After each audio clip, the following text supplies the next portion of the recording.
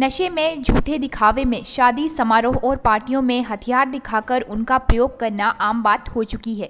और इसी के चलते बहुत से लोगों को अपनी जान से भी हाथ गंवाना पड़ा है।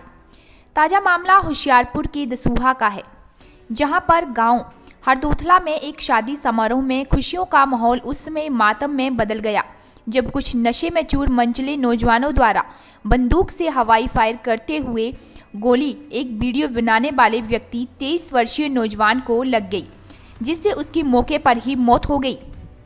वहीं पुलिस ने बंदूक चलाने वाले नौजवान रिपू दमन पर कार्रवाई करते हुए उस पर धारा 302 का मामला दर्ज किया है। वहीं जिस नौजवान का हथियार पुलिस बता रही है कि वो रिपू दमन के एक रिश्तेदार का है और उसके पास कैसे आया और उसका लाइसेंस किसके नाम पर है। पुलिस ने अभी तक उन लोगों पर कार्रवाई क्यों नहीं की, ये एक बड़ा सवाल है। लेकिन डीएसपी दसूहा अशरू राम शर्मा मामले की जाँच के बाद कार्रवाई करने की बात कर रहे हैं।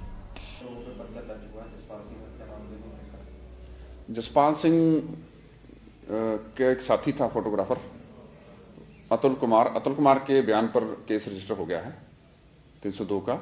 ये रिपु दमन सिंह सन ऑफ़ उपजीत सिंह। उपजीत की लड़की की शादी थी। उसमें उन्होंने बयान किया है कि ये गन फायर की और जसपाल सिंह की मौत हो गई मौका पर।